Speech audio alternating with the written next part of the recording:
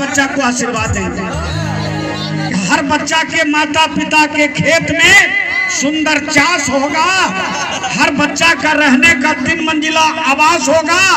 और जो बच्चा प्रेम से ताली बजाया, हर साल अपना क्लास फ़र्स्ट डिवीज़न से पास होगा। कि भैया, कि पहलवानों से लड़ने के लिए सेल नहीं होगा।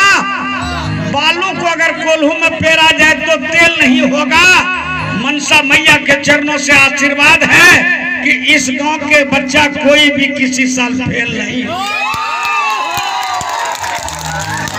और जो नहीं ताली बजाया जो नहीं बजाया अच्छा चलो उसका बाद में कहेंगे। इसलिए माँ के नाम पर हम भैया वंदना करते हैं, जहाँ भी जाता हूँ। माँ के नाम पर, माँ बहुत प्यारी है और माँ का दूध पी करके इतना बड़ा ताकत हम लोग रखते हैं। तब आइए, आप लोग क्या जनानी देख लें? बारी बेटा। केकरो जनानी चले?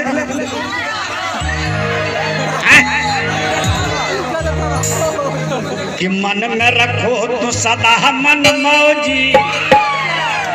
पाँचों जनानी बसंत की फौजी। ये बसंत बाबू का पाँचों भौजी है। आए? तो चलो, पाँचों भौजी में से हमारे जयंत बाबू का कौन है?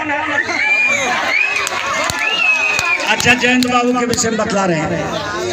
ये कोचिंग शिक्षक हैं, ट्यूटर मास्टर हैं। बहुत अच्छा बच्चों को शिक्षा देते हैं। तो भैया, अब पाँचों लेडीज़ कलाकारों को आप लोगों ने देखा। लेकिन भैया कौन किस नाम से जाना जाता है, इसके विषय में जानकारी आप लोगों को नहीं है तो मैं जरा सा देखिए हमारे जयंत बाबू क्या धन्यवाद। घनश्याम बेला जी, आपको बहुत बहुत धन्यवाद। आपने कीमती समय निकालकर हमारे राजा के धरती पर पहुँचे और हमारे ललमटिया निवासी माननीय Ayodhya Yadav ji, DJ sound operator और प्रोपराइटर, आपको इक्यावन रुपये का भेंट चढ़ाते हैं और उनका आग्रह है कि आप अपने कलाकारों को मंच पर जल्द से जल्द उपस्थित करें। धन्यवाद। हमारे ये Sangeet Suman Vijay sound service Ayodhya Babu proprietor महोदय, मालिक महोदय, हमारा भी मालिक। जो भैया अच्छा जो हमक, जो हो हम खूब बड़का कलाकार तब की करते?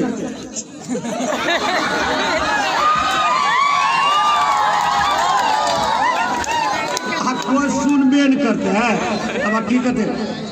मारो साला भोजड़ी तो भैया, इसलिए साउंड की बहुत ज़रूरी होती है।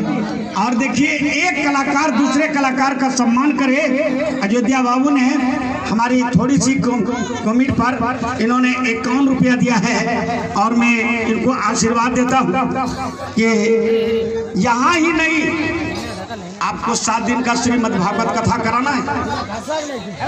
पंडित लोगों का अच्छे वक्ता का प्रवचन शास्त्र का श्रवण करना है। तो हमारे अयोध्या बाबू से भेंट करें।